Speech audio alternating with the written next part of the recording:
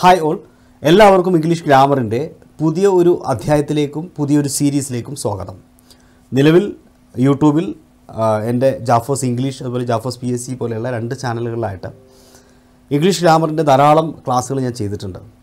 S S C U P S C അതുപോലെ തന്നെ Kerala P S C പരീക്ഷകൾക്ക് ആവശ്യമായിട്ടുള്ള എല്ലാ ടോപ്പിക്കുകളും നിലവിൽ ചെയ്തിട്ടുണ്ട് എങ്കിലും ആദ്യമായിട്ട് വീണ്ടും ഒരു സീരീസ് തുടക്കം മുതൽ ചെയ്യുകയാണ്. അതായത് Kerala P S C K A S സാധാരണ P S C degree level tenth level plus two level പരീക്ഷയ്ക്ക് ആവശ്യമായിട്ടുള്ള സിലബസ് അനുസരിച്ചുള്ള അതുപോലെ എസ് എസ് സിക്കും യു പി എസ് സി പരീക്ഷകൾക്കൊക്കെ ഗുണകരമായ രീതിയിൽ മുഴുവൻ ടോപ്പിക്കും അതായത് നമ്മുടെ സിലബസിൽ പറയുന്ന മുഴുവൻ ടോപ്പിക്കും ആദ്യ അവസാനം തുടക്കം മുതൽ ഇംഗ്ലീഷ് ഗ്രാമറും വൊക്കാബുലറിയും ഒരു കോഴ്സായിട്ട് തന്നെ ചെയ്യുകയാണ്.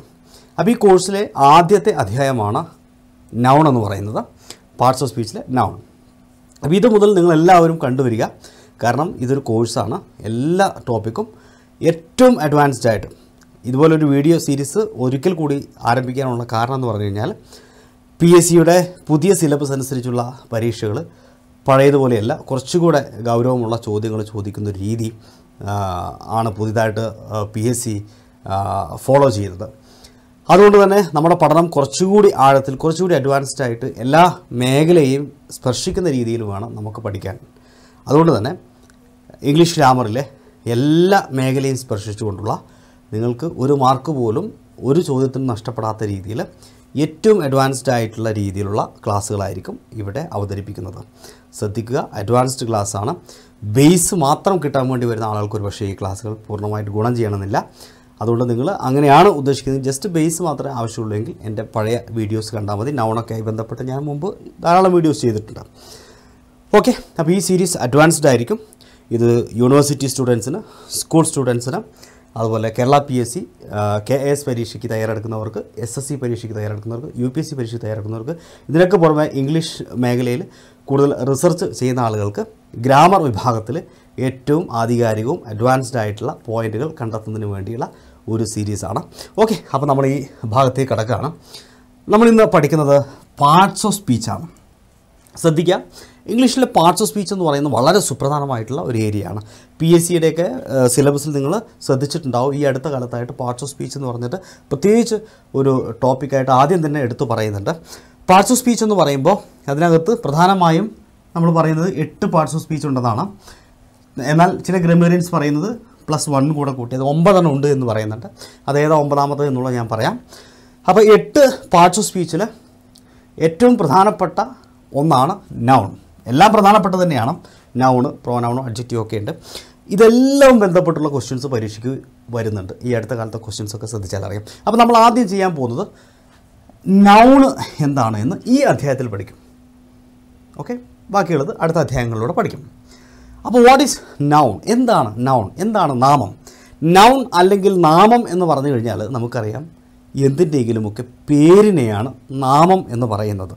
ഓക്കെ നൗൺ എന്ന് പറയുന്നത്. ഇപ്പം ഞാനെന്ന് പറയുന്ന വ്യക്തി എനിക്കൊരു പേരുണ്ട് അല്ലേ? നിങ്ങൾ എന്റെ പേര് വിളിക്കും. ആ പേരെന്ന് പറയുന്നത് എന്നെ സൂചിപ്പിക്കുന്ന നാമമാണ്. അപ്പോൾ ഒരു വ്യക്തിയുടെയോ സ്ഥലത്തിന്റെയോ വസ്തുക്കളുടെയോ പേരിനെയോ ആശയത്തെയോ കുറിക്കാൻ ഉപയോഗിക്കുന്ന വാക്കാണ് നാമം. ഇംഗ്ലീഷ് ഗ്രാമറിലെ എട്ട് വിധം പാർട്സ് ഓഫ് സ്പീച്ചിൽ ഒന്നാണ് നൗൺ എന്ന് പറയുന്നത്. അപ്പോൾ നൗൺ എന്ന് പറഞ്ഞാൽ എന്താണ്? ഒരു വ്യക്തിയുടെ ഒരു സ്ഥലത്തിന്റെ ഒരു വസ്തുവിന്റെ ഇതൊന്നും കൂടാതെ ഒരു ആശയത്തിന്റെ പേരിനെയും നമ്മൾ എന്ത് വിളിക്കും? നൗൺ എന്ന് വിളിക്കും. അത് നമുക്ക് വളരെ വിശദമായിട്ട് ഡിസ്കസ് ചെയ്യാം. അതിലേക്ക് പോകുന്നതിന് മുൻപായിട്ട്. അപ്പോൾ ഞാൻ പറഞ്ഞു പാർട്സ് ഓഫ് സ്പീച്ച് എന്നാണ് ശരിക്കും ഈ ടോപ്പിക്കിന്റെ പേര്. ഇംഗ്ലീഷിൽ നിങ്ങളുടെ പരീക്ഷയുടെ സിലബസിൽ എസ് എസ് സിയുടെ യു പി എസ് സിയുടെ കെ എസിന്റെ ആണെങ്കിലും പി എസ് സിയുടെ ആണെങ്കിലും ഒക്കെ സിലബസിനകത്ത് ചിലപ്പോൾ പലപ്പോഴും പാർട്സ് ഓഫ് സ്പീച്ച് എന്ന് പറഞ്ഞൊരൊറ്റ വരിയിൽ അത് എഴുതി വെക്കും. പക്ഷെ പാർട്സ് ഓഫ് സ്പീച്ച് എന്ന് എഴുതി വെക്കുമ്പോൾ നിങ്ങൾ ചെയ്യേണ്ടത് എന്താണ്? ഈ എട്ടും പ്ലസ് ഒൻപതാമത്തതും കൂടെ കൂടി ഒൻപത് തരത്തിലുള്ള പാർട്സ് ഓഫ് സ്പീച്ച് നിങ്ങൾ എന്ത് ചെയ്യണം? പഠിക്കണം. കാരണം ഈ വിഭാഗത്തിൽ നിന്നെല്ലാം ചോദ്യങ്ങൾ വരും. ഉറപ്പായിട്ടും മസ്റ്റായിട്ട് ചോദ്യങ്ങൾ വരുന്ന ഏരിയകളാണ്. അപ്പോൾ സിലബസിനകത്ത് ജസ്റ്റ് പാർട്സ് ഓഫ് സ്പീച്ച് എന്ന് എഴുതി നോക്കുകയുള്ളൂ നിങ്ങളിത് ഓരോ ടോപ്പിക്കിനെയും കൃത്യമായി ആഴത്തിൽ മനസ്സിലാക്കേണ്ടതുണ്ട്. ജസ്റ്റ് ബേസ് മനസ്സിലാക്കിയാൽ നിങ്ങൾക്ക് പരീക്ഷയ്ക്ക് മുഴുവൻ മാർക്കിട്ടില്ല ബേസായിട്ടുള്ള കാര്യങ്ങൾ അടിസ്ഥാനപരമായ കാര്യങ്ങൾ നിങ്ങൾക്കറിയാമെന്ന് പി എസ് സിക്ക് മനസ്സിലായിട്ടുണ്ട്. ആദ്യമൊക്കെ അങ്ങനെ മതിയായിരുന്നു. പക്ഷെ ഇപ്പോൾ പി എസ് സിക്ക് അറിയാം അടിസ്ഥാനപരമായ കാര്യങ്ങളൊക്കെ എല്ലാവർക്കും അറിയാം. കുറച്ച് ആഴത്തിലുള്ള ചോദ്യങ്ങൾ ചോദിച്ചാലേ നിങ്ങളുടെ മാർക്ക് നഷ്ടപ്പെടുത്താൻ പി എസ് സിക്ക് സാധിക്കുള്ളൂ. അതുകൊണ്ട് തന്നെ സ്വാഭാവികമായും എല്ലാ മേഖലയിലും കുറച്ച് നിങ്ങൾ ശ്രദ്ധിക്കാൻ സാധ്യത കുറവുള്ള ഏരിയകളിൽ ഫോക്കസ് ചെയ്തുകൊണ്ടുള്ള ചോദ്യങ്ങളാണ് പരീക്ഷയ്ക്ക് വരിക. അപ്പോൾ അത് നിങ്ങൾ പ്രത്യേകമായിട്ട് ശ്രദ്ധിക്കേണ്ടതുണ്ട്. അപ്പോൾ ഈ പറഞ്ഞ ഏരിയകളൊക്കെ നമ്മൾ ആ അർത്ഥത്തിൽ തന്നെയാണ് പഠിക്കാൻ പോകുന്നത്. അപ്പോൾ ഏതൊക്കെയാണ് പാർട്സ് ഓഫ് സ്പീച്ച് എന്ന് ചോദിച്ചു കഴിഞ്ഞാൽ noun verb pronoun adjective adverb preposition conjunction interjection determiners ഇതിനകത്ത് ഇന്റർജെക്ഷൻ എന്ന് പറയുന്ന ഭാഗത്തുനിന്ന് പ്രത്യേകിച്ച് ചോദ്യങ്ങളൊന്നും വരാറില്ല. ബാക്കിയെല്ലാം പരീക്ഷയ്ക്ക് ചോദിക്കും. ഡിറ്റർമിനേഴ്സൊക്കെ പ്രത്യേകം സിലബസിനകത്ത് എടുത്തു പറയുന്നുണ്ട്. അപ്പോൾ ചില ഗ്രമേറിയൻസിന്റെ അഭിപ്രായത്തിൽ ഓൻ ഈ ഡിറ്റർമിനേഴ്സും പാർട്സ് ഓഫ് സ്പീച്ചിന്റെ ഭാഗമാണ്. എന്നാൽ ഇതിനു മുമ്പുള്ള ഒരു വ്യവസ്ഥാപിതമായ രീതി അനുസരിച്ച് എട്ടെണ്ണമാണ് പാർട്സ് ഓഫ് സ്പീച്ച് എന്നും പറയുന്നു. പക്ഷേ ഇതും കൂടെ ഉൾക്കൊള്ളിച്ച് നമ്മൾ ഒൻപതും പഠിക്കും. ഇന്നത്തെ നമ്മുടെ ടോപ്പിക്ക് നൗൺസ് ആണ്. വാട്ട് ഈസ് നൗൺ വളരെ സിമ്പിളായ ലളിതമായ ഒരു ടോപ്പിക്കാണ്. വളരെ എളുപ്പത്തിൽ നിങ്ങൾക്ക് മനസ്സിലാക്കാൻ സാധിക്കും.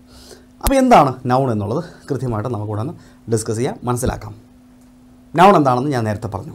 എന്താ നൗണ് ഒരു വ്യക്തിയുടെ ഒരു സ്ഥലത്തിന്റെ ഒരു വസ്തുവിന്റെ കൂടാതെ ഒരു ആശയത്തിന്റെ ഇതിന് ഏതിന്റെയെങ്കിലും ഏതിനെയെങ്കിലും സൂചിപ്പിക്കാൻ ഉപയോഗിക്കുന്ന പേര് നെയിമാണ് നാമം എന്ന് പറയുന്നത്. കുറച്ച് എക്സാമ്പിൾസ് ഇവിടെ തന്നിട്ടുണ്ട്. രാജു. രാജു എന്ന് പറയുന്ന ഒരു മനുഷ്യനെ വിളിക്കുന്ന പേരാണ്. റഹീം. പേരാണ്. അതെല്ലാം നാമങ്ങളാണ്. അടുത്തത് പാർവതി അല്ലേ? നാമമാണ്. മൈസൂർ കൊൽക്കത്ത കാശ്മീർ. ഇതൊക്കെ സ്ഥലങ്ങളെ വിളിക്കുന്ന പേരുകളാണ്. ഓരോ സ്ഥലങ്ങളുടെ പേരാണ്. ഈ ലോകത്തുള്ള ലക്ഷക്കണക്കിന് കോടിക്കണക്കിന് വരുന്ന സ്ഥലങ്ങളുടെ എല്ലാ പേരുകളും നാമങ്ങളാണ്. നൈഫ് എന്ന് പറയുന്നില്ലേ ഫോറസ്റ്റ് പെന്ന്. അല്ലെ എഴുതാൻ ഉപയോഗിക്കുന്ന വസ്തുവാണ്. മുറിക്കാൻ ഉപയോഗിക്കുന്ന വസ്തുവാണ് നൈഫ്. കുറേ മരങ്ങൾ കൂടിച്ചേരുന്ന ഒരു ഒരു ആവാസ വ്യവസ്ഥയെ നമ്മൾ വിളിക്കുന്ന പേരാണ് ഫോറസ്റ്റ് അല്ലേ? ഓക്കെ ഇനി ഉള്ള ഉള്ള ഭാഗങ്ങളും ശ്രദ്ധിക്കൂ. ഹോപ്പ് ഹാപ്പിനെസ് ഐഡിയ ഹോപ്പ് പ്രതീക്ഷ. അല്ലേ? നമ്മുടെ എന്താ പറയുക ഒരു ഒരു ഒരു ഫീലിംഗ് ആണ് നമ്മൾ കാത്തിരിക്കുകയാണ്. വളരെ ശുഭപ്രതീക്ഷയോടുകൂടിയുള്ള കാത്തിരിപ്പ്. നമ്മൾ പ്രതീക്ഷ ഹോപ്പ് ഹാപ്പിനെസ് സന്തോഷം. നമ്മുടെ ശരീരത്തിലുണ്ടാവുന്ന ഒരു പ്രത്യേകമായിട്ടൊരു വികാരമാണ് ഹാ സന്തോഷം എന്ന് പറയുന്നത്. അതിന്റെ പേരാണ് ഹാപ്പിനെസ്. ഐഡിയ ആശയം എന്ന് പറയുന്നത് ആശയങ്ങൾക്ക് വിളിക്കുന്ന ഒരു വാക്കാണ്. അപ്പോൾ ആശയങ്ങളെ സൂചിപ്പിക്കുന്ന ആശയമാണ് ഇത് ഐഡിയ എന്ന് പറയുന്നത്. അപ്പോൾ ഐഡിയ എന്ന് പറയുന്ന വാക്ക് തന്നെ എന്താണ്? ഒരു നാമമാണ്. അപ്പോൾ ഏതെങ്കിലും തരത്തിലുള്ള ഐഡിയകളെ ഹോപ്പ് പ്രതീക്ഷ എന്ന് പറയുന്നത് ഐഡിയ. ഒരാശയമാണ്. ഹാപ്പിനെസ് സന്തോഷം എന്ന് പറയുന്നത് ഐഡിയ ഒരു ഫീലിംഗ് ഓക്കെ അപ്പോൾ ഇതെല്ലാം അതിനേക്ക് വിളിക്കുന്ന ഏതെങ്കിലും ഫീലിങ്സിന്റെ പേര് ഏതെങ്കിലും ഐഡിയാസിന്റെ ആശയത്തിന്റെ പേര് ഏതെങ്കിലും വസ്തുവിന്റെ പേര് സ്ഥലത്തിന്റെ പേര് മനുഷ്യന്റെ വ്യക്തിയുടെ പേര് അനിമൽസിന്റെ മൃഗങ്ങളുടെ പേരുകളോ എല്ലാം എന്തിന്റെയും പേരിനെ നമ്മൾ എന്ത് വിളിക്കും? നൗൺ എന്ന് വിളിക്കും. ഓക്കെ ഈ സെന്റൻസ് നോക്കൂ ഇതിൽ നൗൺ ഉണ്ട്.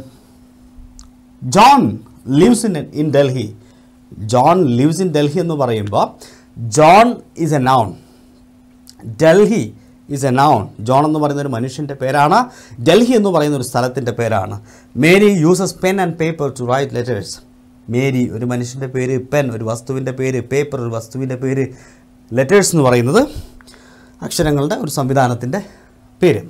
അല്ലെങ്കിൽ അക്ഷരങ്ങളെ എന്താ പറയുക കൂട്ടമായിട്ട് സൂചിപ്പിക്കാൻ ഉപയോഗിക്കുന്ന ഒരു വേർഡ് ലെറ്റേഴ്സ് അപ്പോൾ ഈ പറയുന്നവയൊക്കെ എന്താണ്? നൗണുകളാണ്. എന്താണ് നൗണെന്ന് നിങ്ങൾക്ക് മനസ്സിലായിട്ടുണ്ടാവും? ഇത്രയേ ഉള്ളൂ നൗൺ എന്ന് പറയുന്നത്. കാര്യം നിങ്ങൾക്ക് വ്യക്തമായി. ഇതാണ് അതിന്റെ ബേസ് ആയിട്ടുള്ള കാര്യം. പക്ഷേ പരീക്ഷയിൽ നൗൺ എന്ന് പറയുമ്പോൾ ഇതിന്റെ ഓരോ വിഭാഗത്തെയും അല്ലെങ്കിൽ ഓരോ വാക്ക് ഏത് ഏത് വിഭാഗത്തിൽ ഉൾക്കൊള്ളിക്കാമെന്നുള്ള വ്യക്തമായ ധാരണ കൂടി വേണം.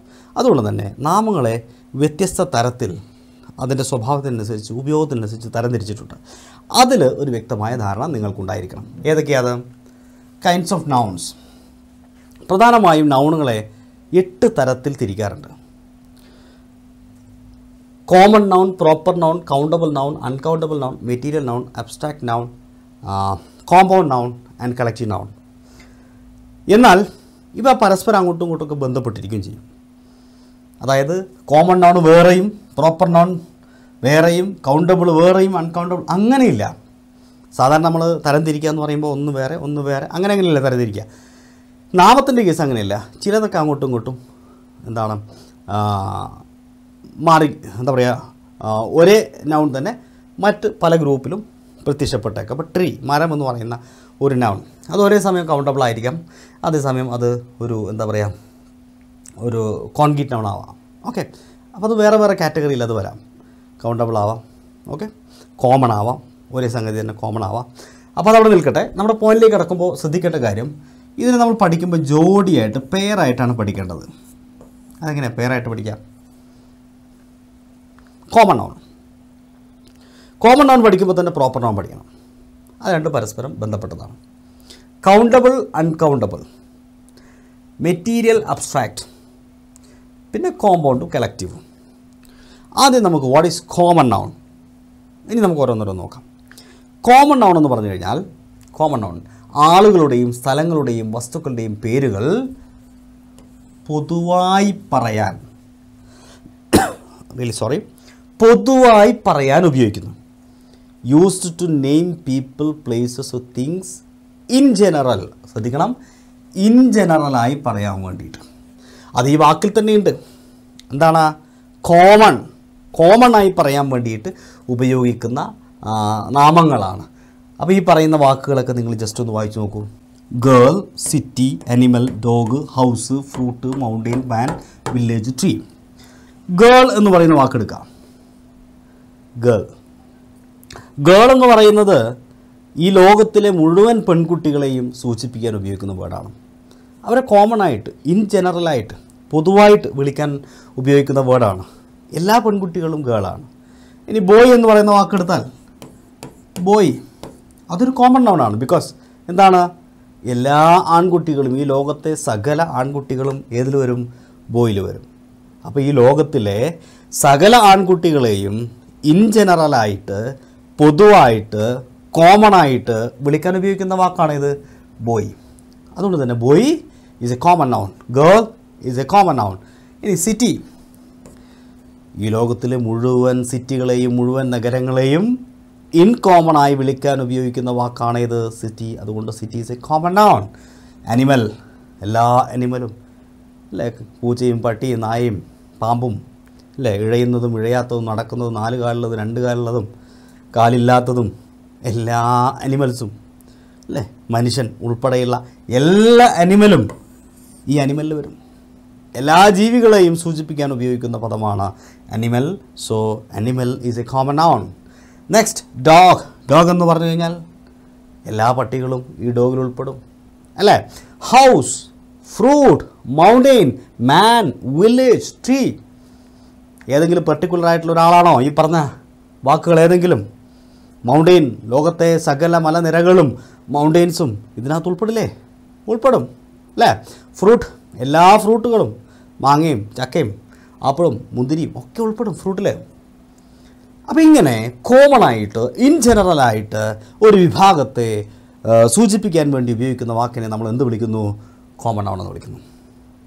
എന്നാൽ നേരെ ഓപ്പോസിറ്റായിട്ട് നമ്മൾ പഠിക്കേണ്ട അടുത്ത ഒരു വേർഡാണ് പ്രോപ്പർ നൗൺ അപ്പോൾ അതിലേക്ക് പോകുന്നതിന് മുമ്പ് ഈ ചോദ്യത്തിന്റെ ഉത്തരം നിങ്ങൾ ഒരു കടലാസ് എടുത്ത് എഴുതണം. ഒരു കടലാസ് വേണം ക്ലാസ് കാണുമ്പോൾ ഈ- ക്ലാസ്സുകൾ കാണുമ്പോൾ ഈ സീരീസിലെ ക്ലാസ്സുകൾ കാണുമ്പോൾ നിങ്ങൾ ഒരു റെഗുലർ ക്ലാസ്സിലിരുന്ന് ക്ലാസ് കാണുന്ന ഒരു മൂഡിൽ വേണം ഇരിക്കാൻ. കേട്ടോ? ഇത് യൂട്യൂബിൽ ഒരു വീഡിയോ കാണുകയാണ് എന്ന ഒരു മനോഭാവത്തോടു കൂടി നിങ്ങൾ ഒരിക്കലും ഇരിക്കരുത്. ഞാൻ ക്ലാസ് എടുക്കുന്നത് അത്തരത്തിലല്ല. യൂട്യൂബിൽ ക്ലാസ് എടുക്കുന്ന അല്ലെങ്കിൽ ഒരു വീഡിയോ ക്ലാസ് പോലെയല്ല ഞാൻ ഈ ഒരു ക്ലാസ്സിനെ കാണുന്നത്. ഞാനതിന് വളരെ എന്താ പറയുക ലൈവ് ആയിട്ടൊരു ക്ലാസ് എങ്ങനെയാണോ എടുക്കുന്നത്? ആ ഒരു മനോഭാവത്തോടു കൂടിയാണ് ഞാൻ ക്ലാസ് എടുക്കുന്നത്. നിങ്ങളും ആ രൂപത്തിൽ തന്നെ ഈ ക്ലാസ്സിനെ കാണുക. ഒരു നോട്ട് എടുക്കുക. ഇതൊരു കോഴ്സാണ് തീർച്ചയായിട്ടും ഇത് കംപ്ലീറ്റ് ഞാൻ ചെയ്തു തരും.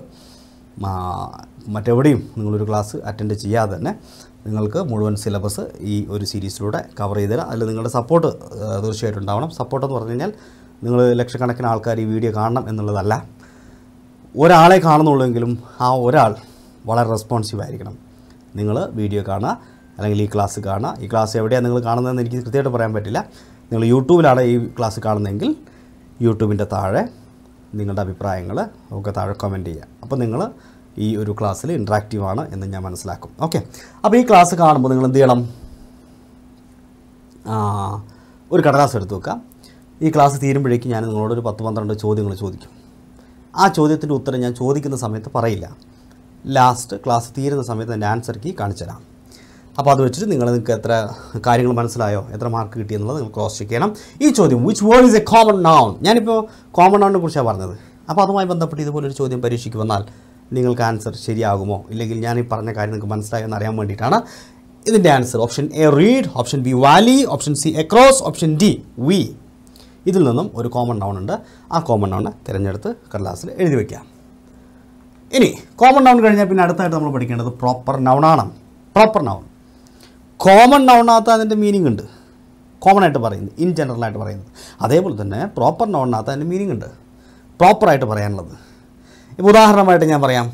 നേരത്തെ ഞാൻ പറഞ്ഞു ഗേൾ ഹേ ഗേൾ അല്ലേ? മൂന്ന് പെൺകുട്ടികൾ നടന്നു പോവാണ്. അപ്പോൾ ഞാൻ വിളിക്കാം. ഹേ ഗേൾ ലുക്ക് ഹിയർ ഇവിടെ നോക്കൂ. മൂന്ന് പെൺകുട്ടികൾ തിരിഞ്ഞു നോക്കും. എന്നാൽ ഈ പെൺകുട്ടികളിൽ ഒരാളുടെ പേര് സുനിത എന്നാണ്. അപ്പം ഞാൻ ഏ സുനിത? എന്ന് വിളിച്ചു കഴിഞ്ഞാൽ സുനിത മാത്രമേ തിരിഞ്ഞു നോക്കുകയുള്ളൂ അല്ലേ? കാരണം സുനിതയെ പ്രോപ്പറായിട്ട് അല്ലെങ്കിൽ പർട്ടിക്കുലറായിട്ട് വിളിക്കുകയാണ് ഞാൻ. പ്രത്യേകമായിട്ട് എടുത്തു വിളിക്കുകയാണ്. അപ്പോൾ അത്തരത്തിൽ ആളുകളുടെയും സ്ഥലങ്ങളുടെയും വസ്തുക്കളുടെയും പേരുകൾ പ്രത്യേകമായി എടുത്തു പറയാൻ ഉപയോഗിക്കുന്ന നാമങ്ങളാണ് പ്രോപ്പർ നൗണുകൾ എന്ന് പറയുന്നത്. പ്രോപ്പർ നൗണുകൾ സാധാരണ ക്യാപിറ്റൽ ലെറ്ററിലാണ് ആരംഭിക്കുക. കാരണം അത് പേരുകളായിരിക്കുമല്ലോ. സുനിതയുടെ എസ് ക്യാപിറ്റലാണ്. ഡൽഹിയുടെ ഡി ക്യാപിറ്റലാണ് റഷ്യയുടെ ആർ ക്യാപിറ്റലാണ് അരിസ്റ്റോട്ടലിന്റെ എ ക്യാപിറ്റലാണ് കണ്ടില്ലേ? അപ്പോൾ സുനിത ഒരു മനുഷ്യന്റെ പ്രോപ്പറായിട്ടുള്ള നെയിമാണ് എടുത്തു പറയുകയാണ് ഡൽഹി എന്ന് പറയുന്നത് ഞാൻ നേരത്തെ സിറ്റി എന്ന് പറഞ്ഞു. City city is a common noun because ലോകത്തിലെ എല്ലാ സിറ്റീസും ആ സിറ്റിയുടെ ഉള്ളിൽ വരും.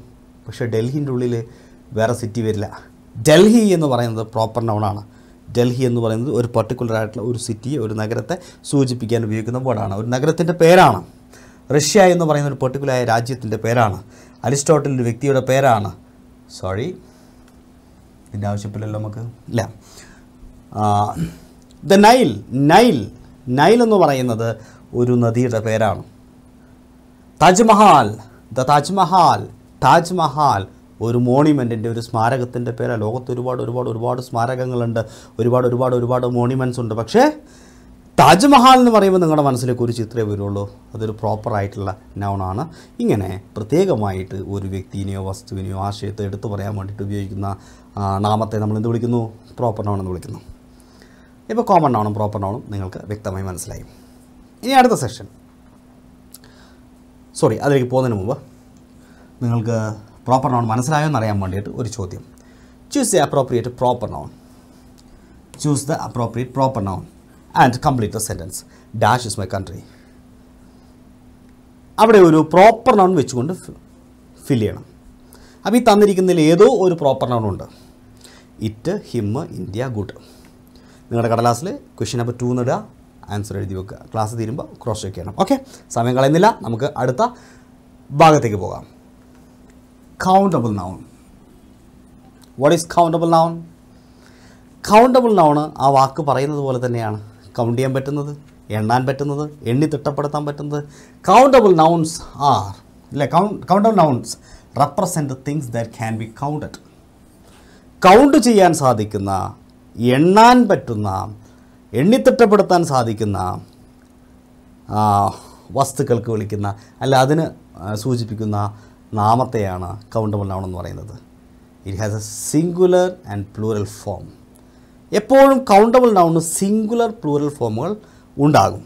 അതിന് സിംഗുലർ ആണെങ്കിൽ അതിനെ പ്ലൂറൽ ആക്കാൻ പറ്റും. ഇപ്പോൾ കാറ് കാർസ് കാർ എണ്ണാൻ പറ്റൂലേ?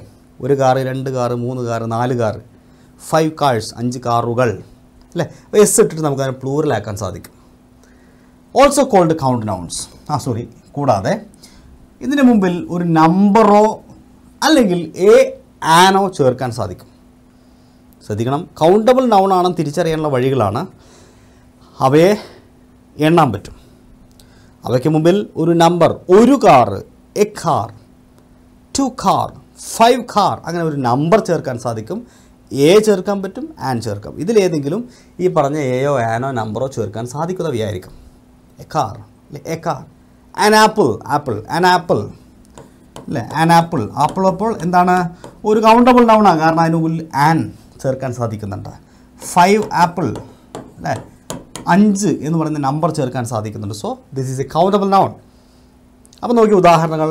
Car desk cup house umbrella bike tree. ഞാൻ ഈ പറഞ്ഞ കാര്യങ്ങളൊക്കെ ഇതിനൊക്കെ നടക്കും ഇതിന് പ്ലൂറലില്ലേ ഇതിന് സിംഗുലറുമുണ്ട് പ്ലൂറലുമുണ്ട് ഇതിന് മുമ്പിൽ ഒന്ന് രണ്ട് മൂന്ന് അഞ്ച് പത്ത് എന്നൊക്കെ വേണമെങ്കിൽ ചേർക്കാൻ സാധിക്കും. ഇനി ഞാൻ പറയുന്ന പ്രധാനപ്പെട്ട ഒരു കാര്യം ശ്രദ്ധിക്കുക. കൗണ്ടബിൾ നൗണിന്റെ മറ്റൊരു പേരാണ് എന്ത്? സോറി കൗണ്ടബിൾ നൗണിന്റെ മറ്റൊരു പേരാണ് കൗണ്ട് നൗൺ ഇത് പല ആളുകളും ശ്രദ്ധിക്കാത്തൊരു കാര്യമാണ്. കൗണ്ട് നൗൺ എന്താണ്? കൗണ്ട് നൗൺസ് കൗണ്ടബിൾ നൗണിന്റെ മറ്റൊരു പേരാണ് കൗണ്ട് നൗൺസ് ഇത് പലപ്പോഴും പലരും ശ്രദ്ധിക്കാത്ത കാര്യമാണ്. പക്ഷേ കേരള പി എസ് സി ഒരിക്കൽ ചോദ്യത്തിൽ ഈ വാക്കുപയോഗിച്ച് ചോദ്യം ചോദിച്ചു കളഞ്ഞു കൗണ്ടബിൾ നൗണിന്റെ പേരാണ് കൗണ്ട് നൗൺ എന്നുള്ളത് അറിയില്ലെങ്കിൽ ചിലപ്പോൾ നിങ്ങളത് ആൻസർ എഴുതാതെ പോകും. അതുകൊണ്ട് ശ്രദ്ധിക്കുക കൗണ്ടബിളുടേത് കൗണ്ട് എന്ന് പറഞ്ഞാലും അത് തന്നെയാണ്. ആ പേരിലും അറിയപ്പെടുന്നു. അപ്പോൾ ഒരിക്കൽ കൂടി പറയാം എണ്ണാൻ സാധിക്കുന്ന നാമങ്ങളാണ് കൗണ്ടബിൾ നൗൺസ് അവയ്ക്ക് പ്ലൂറലും സിംഗുലർ ഫോമും ഉണ്ടാകും. അവയുടെ മുമ്പിൽ എയോ ആനോ അല്ലെങ്കിൽ ഏതെങ്കിലും ഒന്നോ രണ്ടോ മൂന്നോ എന്ന് പറയുന്ന നമ്പറുകളൊക്കെ ഉപയോഗിക്കാനും സാധിക്കും. ഇനി കൗണ്ടബിൾ പഠിക്കുമ്പോൾ സ്വാഭാവികമായും പഠിക്കേണ്ട. അടുത്ത നൗണാണ് ഇത് അൺകൗണ്ടബിൾ നൗൺ അതിലേക്ക് പോകുന്നതിന് മുന്നോടെ മുന്നോടിയായിട്ട് ഒരു ചോദ്യം ചോദിക്കാം. വിച്ച് സ്റ്റേറ്റ്മെന്റ് ഇസ് കറക്റ്റ് ഇപ്പം എന്താ കൗണ്ടബിൾ നമ്മൾ പഠിച്ചു കഴിഞ്ഞു. അതുമായി ബന്ധപ്പെട്ട് രണ്ട് സ്റ്റേറ്റ്മെന്റ് തന്നിട്ടുണ്ട്. സ്റ്റേറ്റ്മെന്റ് ടൈപ്പ് ചോദ്യങ്ങളൊക്കെ പി എസ് സി പരീക്ഷകളിൽ ഇപ്പോൾ ചോദിച്ചു തുടങ്ങിയിട്ടുണ്ട് ഇംഗ്ലീഷിൽ പോലും. ഇംഗ്ലീഷിൽ പോലും സ്റ്റേറ്റ്മെന്റ് ചോദ്യങ്ങൾ ചോദിച്ചു തുടങ്ങിയിട്ടുണ്ട് എന്നുള്ളതുകൊണ്ട് ഇനി ഇത്തരത്തിലുള്ള ചില ചോദ്യങ്ങളും നിങ്ങൾ എന്ത് ചെയ്യണം? ജസ്റ്റ് ഒന്ന് മനസ്സിലാക്കി പോകണം ഒന്നാമത്തെ statement represented in both singular form and the plural form അതായത് a countable noun is a type of noun that can be ഒരു കൗണ്ടബിൾ നൗൺ എന്ന് പറയുന്നത് represented in both the singular form and the plural form അതായത് singular ഫോമായിട്ടും plural ഫോമായിട്ടും represent ചെയ്യാൻ സാധിക്കും. മറ്റൊരു point represented by a number ഒരു നമ്പർ വെച്ചിട്ടോ അതായത് ടു ക്യാറ്റ്സ് പോലെ അല്ലെങ്കിൽ ഫൈവ് ബുക്സ് പോലെ ഇങ്ങനെ ഒരു നമ്പർ വെച്ചിട്ടും അതിനെ റെപ്രസെന്റ് ചെയ്യാൻ സാധിക്കും. ഈ രണ്ട് സ്റ്റേറ്റ്മെന്റുമായി ബന്ധപ്പെട്ട് താഴെ പറയുന്നതിൽ ഏതാണ് ഉത്തരം? Option A A only B B only C A and B D none ഉത്തരം നിങ്ങളുടെ കടലാസിൽ എഴുതുക ക്വസ്റ്റ്യൻ നമ്പർ ത്രീ ആണ്. അപ്പോൾ ഇനി നമുക്ക് അൺകൗണ്ടബിൾ നൗണിലേക്ക് കിടക്കാം. കൗണ്ടബിൾ എന്താണെന്ന് മനസ്സിലാക്കിയ ആൾക്കാർക്ക് തീർച്ചയായിട്ടും അൺകൗണ്ടബിൾ എന്താണെന്ന് മനസ്സിലാവും. എണ്ണാൻ കഴിയാത്ത നാമങ്ങളാണ് അൺകൗണ്ടബിൾ നൗൺസ് എണ്ണാൻ പറ്റില്ല സാധാരണയായിട്ട് അമൂർത്തമായിട്ടുള്ള ആശയങ്ങൾ പദാർത്ഥങ്ങൾ ദ്രാവകങ്ങൾ എന്നിവയെ കുറിക്കാനാണ് സാധാരണ അൺകൗണ്ടബിൾ നൗൺസ് ഉപയോഗിക്കാറുള്ളത്. അൺകൗണ്ടബിൾ നൗൺസ് മറ്റൊരു പേരിൽ അറിയപ്പെടും മാസ് നൗൺസ് ശ്രദ്ധിക്കണം ഇത് പലർക്കും അറിയാത്ത ഒരു കാര്യമാണ് അത്ര പോപ്പുലറായിട്ട് നമ്മൾ ഈ പേരുപയോഗിച്ച് കാണാറില്ല. അപ്പോൾ അതുകൊണ്ട് തന്നെ നമ്മളതങ്ങനെ ശ്രദ്ധിക്കില്ല. മാസ് നൗൺസ് പക്ഷേ പി എസ് സി ഇത് പരീക്ഷയ്ക്ക് വെച്ചിട്ടുണ്ട്. ചോദ്യം വരുന്ന രീതി നിങ്ങൾ മനസ്സിലായിക്കോ? മാസ് നൗൺ എന്ന് പറയുന്ന പ്രയോഗം കേരള പി എസ് സി കുറേ മുമ്പ് വർഷങ്ങൾക്ക് മുമ്പ് ചോദിച്ച ഒരു ചോദ്യത്തിനകത്ത് ഉപയോഗിച്ചിട്ടുണ്ടെങ്കിൽ വളരെ പ്രധാനപ്പെട്ട ഒരു പോയിന്റാണത് ഓക്കെ അപ്പോൾ അൺകൗണ്ടബിൾ നൗൺസിന്റെ മറ്റൊരു പേരാണ് മാസ് നൗൺ അൺകൗണ്ടബിളിന്റെ പ്രത്യേകത അവ എണ്ണാൻ സാധിക്കില്ല. എണ്ണാൻ സാധിക്കാത്ത നാമങ്ങളെ നിങ്ങൾക്ക് അൺകൗണ്ടബിൾ ആണെന്ന് പറയാൻ സാധിക്കും.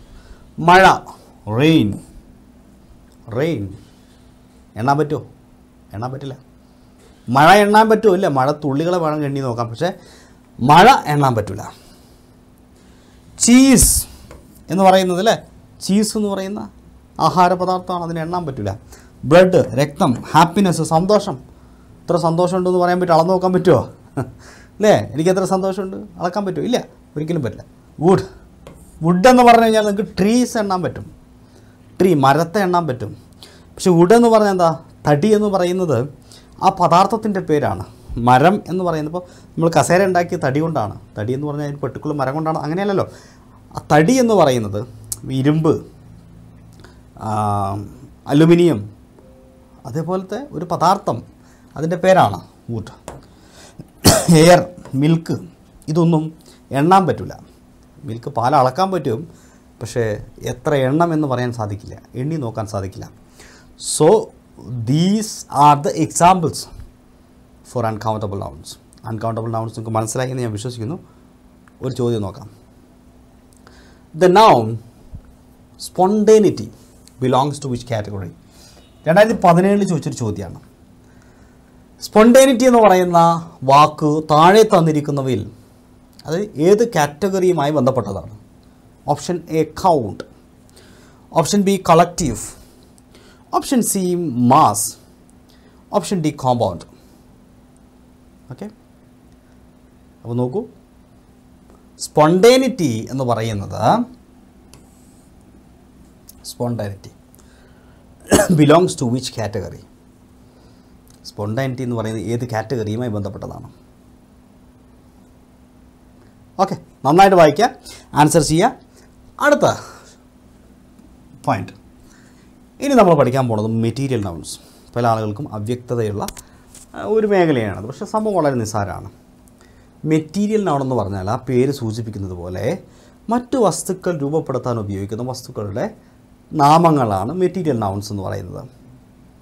ഇവ കോൺക്രീറ്റ് രൂപത്തിലുള്ള അൺകൗണ്ടബിൾ നൗൺ ആയിരിക്കും. നേരത്തെ നമ്മൾ അൺകൗണ്ടബിൾ നൗൺ എന്താണെന്ന് പഠിച്ചിട്ടുണ്ട് അല്ലേ എണ്ണാൻ പറ്റാത്തതായിരിക്കും. അതായത് വളരെ കോൺക്രീറ്റ് കോൺക്രീറ്റ് പറഞ്ഞാൽ അതിന് രൂപം ഉണ്ടാവും. പക്ഷേ എണ്ണാൻ പറ്റില്ല രൂപമില്ലാത്തതല്ല രൂപം ഉണ്ടാവും. കോൺക്രീറ്റ് മീൻസ് രൂപം ഉണ്ടാവും. പക്ഷേ അൺകൗണ്ടബിൾ ആണ്. എണ്ണാൻ പറ്റില്ല ഇവയാണ് നമ്മൾ മെറ്റീരിയൽ നൗൺസ് എന്ന് വിളിക്കുക. ഇത്തരം നാമങ്ങൾ പഞ്ചേന്ദ്രിയങ്ങൾ കൊണ്ട് നമുക്ക് തിരിച്ചറിയാൻ സാധിക്കും. കണ്ടു കഴിഞ്ഞാലോ രുചിച്ച് നോക്കിയാലോ സോറി തിന്നു നോക്കിയാലോ ഒക്കെ മനസ്സിലാവും. അയൺ. നമുക്ക് കാണാൻ പറ്റുന്നതാണ്. പഞ്ചേന്ദ്രിയങ്ങൾ കൊണ്ട് മനസ്സിലാക്കാൻ സാധിക്കും. പക്ഷേ ഇത് എണ്ണാൻ പറ്റുമോ? ഇരുമ്പ് എന്ന് പറയുന്നത്. ഇല്ല എണ്ണാൻ പറ്റില്ല. പക്ഷേ അത് കാണാൻ സാധിക്കും. കോൺക്രീറ്റ് അങ്ങനെ സാധനം നിലവിലുണ്ട്. അതുകൊണ്ട് കോൺക്രീറ്റ് എന്ന് പറയുന്നത്. ഗോൾഡ് എന്ന് പറയുന്ന സാധനമുണ്ട്. കാണാൻ പറ്റും. നമുക്ക് അറിയാൻ പറ്റുന്ന കാര്യങ്ങളാണ്. പക്ഷേ അത് എണ്ണി നോക്കാൻ പറ്റില്ല പക്ഷേ ഗോൾഡ് കൊണ്ട് ഉണ്ടാക്കിയ വസ്തുക്കൾ എണ്ണാൻ പറ്റും കേട്ടോ വളയും കാണാൻ പറ്റും. പക്ഷേ ഗോൾഡ് എന്ന് പറയുന്ന ആ ഒരു പദാർത്ഥം അത് നമുക്ക് കാണാൻ സാധിക്കില്ല. വാക്സ് അല്ലെ മെഴുക് പേപ്പർ. ഈ പേപ്പർ എന്ന് പറയുന്നത് ഇവിടെ ഉദ്ദേശിച്ചിരിക്കുന്നത് നമ്മൾ കടലാസ് എന്ന അർത്ഥത്തിലല്ല. പേപ്പർ എന്ന് പറയുന്നത് പല വസ്തുക്കൾ ഉണ്ടാക്കാൻ ഉപയോഗിക്കുന്ന ഒരു മെറ്റീരിയൽ എന്ന അർത്ഥത്തിലാണ് പേപ്പർ എന്ന് ഉപയോഗിച്ചിരിക്കുന്നത് ഇവിടെ. അപ്പോൾ paper is also a material noun okay ഇനി മെറ്റീരിയൽ നൗണിനെ കുറിച്ച് കുറച്ചുകൂടെ ഡീറ്റെയിൽ ആയിട്ട് ഒന്ന് രണ്ട് കാര്യങ്ങൾ പറയാം.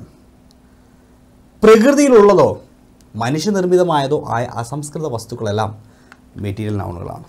അപ്പോൾ ശ്രദ്ധിക്കുക മെറ്റീരിയൽ നൗൺസ് എന്ന് പറഞ്ഞാൽ അസംസ്കൃത വസ്തുക്കളാണ്.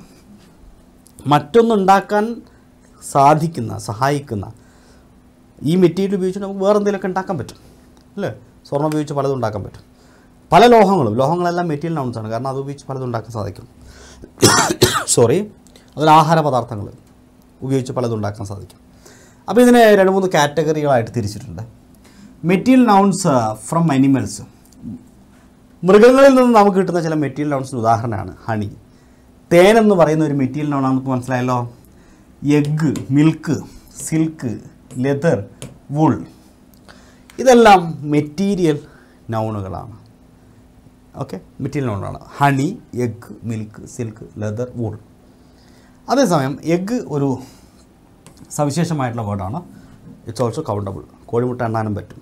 ഓക്കെ അത് കൗണ്ടബിൾ കൂടിയാണ്. എഗ്ഗ് ഞാൻ എടുത്ത് പറയുന്നതാണ്. പിന്നീട് കൺഫ്യൂഷൻ ഇല്ലാതിരിക്കാൻ വേണ്ടി. സാധാരണ രീതിയിൽ അൺകൗണ്ടബിൾ ആയിരിക്കും മെറ്റീരിയൽ നോണുകൾ. പക്ഷേ അതിന് ഒരു എന്താ പറയുക ഒരു എക്സെപ്ഷനാണ് എഗ്ഗ് എന്ന് പറയുന്നത്.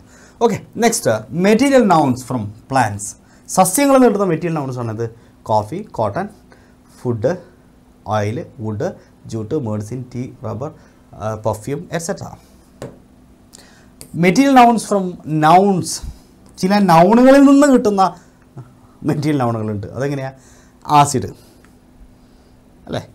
ആൽക്കഹോൾ മറ്റ് പല വസ്തുക്കളിൽ നിന്നുമാണ്. ആ വസ്തുക്കൾ നാമങ്ങളായിരിക്കും. ബ്രിക്ക് ഇഷ്ടിക അല്ലേ? ഇഷ്ടിക. അപ്പോൾ ഇഷ്ടിക ഉണ്ടാക്കുന്ന എവിടുന്ന? സോയിൽ ഉപയോഗിച്ചിട്ടാണ്. അപ്പോൾ സോയിൽ എന്ന് പറയുന്നത് ഇറ്റ്സെൽഫ് എ നൗൺ ഇതൊരു നൗണല്ലേ ബ്രിക്ക് ഒരു നൗണല്ലേ അപ്പോൾ നൗണുകളിൽ നിന്ന് തന്നെ ഉണ്ടാക്കുന്ന മറ്റ് നൗണുകൾ അതായത് material നൗൺസുകൾ cement butter chalk cheese cloth ഈ പറയുന്ന സാധനങ്ങളൊക്കെ.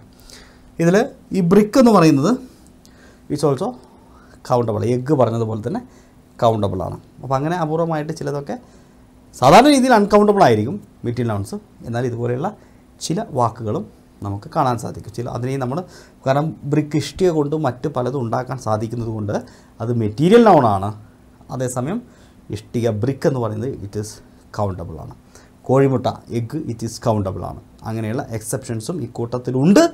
അത് വളരെ വളരെ റയറായിട്ട് വരുന്നതാണ്. സാധാരണ രീതിയിൽ മെറ്റീരിയൽ നൗൺസുകൾ അൺകൗണ്ടബിൾ ആയിരിക്കും. അതൊരു കോമൺ ആയ കാര്യമാണ്. അതുകൊണ്ടാണ് അത് പ്രത്യേകം എടുത്ത് പറയുന്നത്. അപ്പോൾ തന്നെ ഈ എക്സെപ്ഷൻ മറ്റ് ചോദ്യം വരാതിരിക്കാൻ വേണ്ടി പറഞ്ഞതേ ഉള്ളൂ.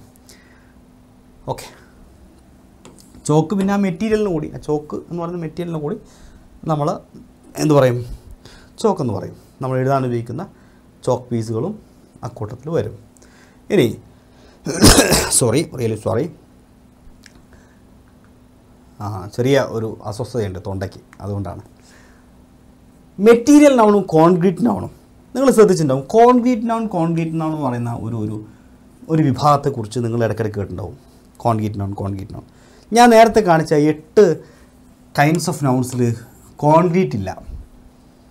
Material and abstract എന്നാണുള്ളത്.